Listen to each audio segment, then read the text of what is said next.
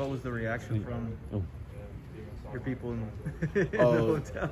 Oh, the reaction like from my family and everything. Yeah, Oh, family and oh, friends. It was it was amazing. Like at, right after the game, I look at my phone, my phone buzzing, going crazy.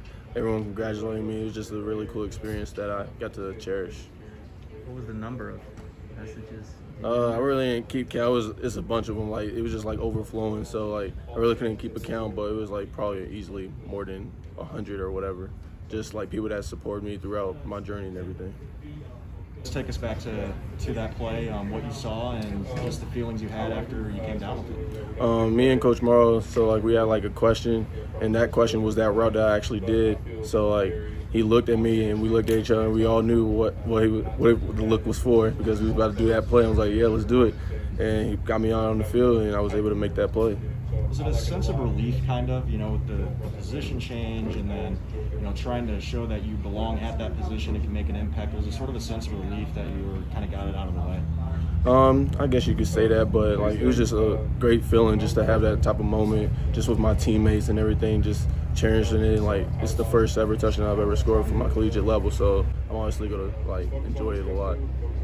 How excited are you for a first road atmosphere? Oh yeah, I think we're all excited for this road game because we've been here uh, for like Kroger Field the last three games. So I think we're all trying to see like a different stadium, but we love Kroger Field, of course. But like just having that type of road game, get that type of experience out there, and it being South Carolina, knowing like with their great fans out there, and just ready to have that type of experience out there. Thing. You Isaiah would have a little, little session about whose names go the right way.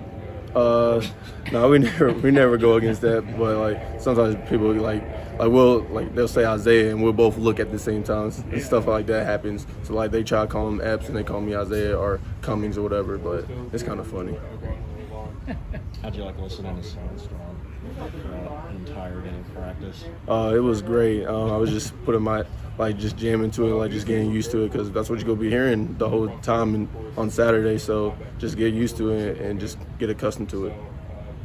Has there been has there been advice for like a road atmosphere? Because this will be your first true true road game, you know, with a, a full crowd, right? Yeah, well, uh, Is anybody giving you like?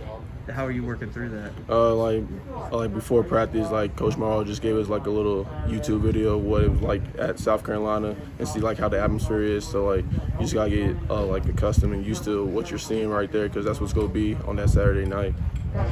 Do you like being in road environments? Uh, yeah, it's kind of fun. Just like if like one of our teammates score, you just hear the fans just quiet down. It's kind of cool to just see that. Like, and you never like right now we're getting a full capacity, and we never had that for like like for me I haven't. So like just having that type of experience can kind of like pretty cool. Coach Coen and uh, you know Coach Stoops said of Coach Coen and Will that they're both hard on themselves after the game. They said that neither, both of them said they kind of didn't perform up to their standards. How have they? How has Will kind of bounced back on the practice field? Uh, Will always working. He's always trying to get better at everything he does. Even when he does a great play, he still feels like there's something that he could have did better during that type of rep. So like he's always like trying to get perfect, and like he knows sometimes he can't be perfect, but he's really like a perfectionist.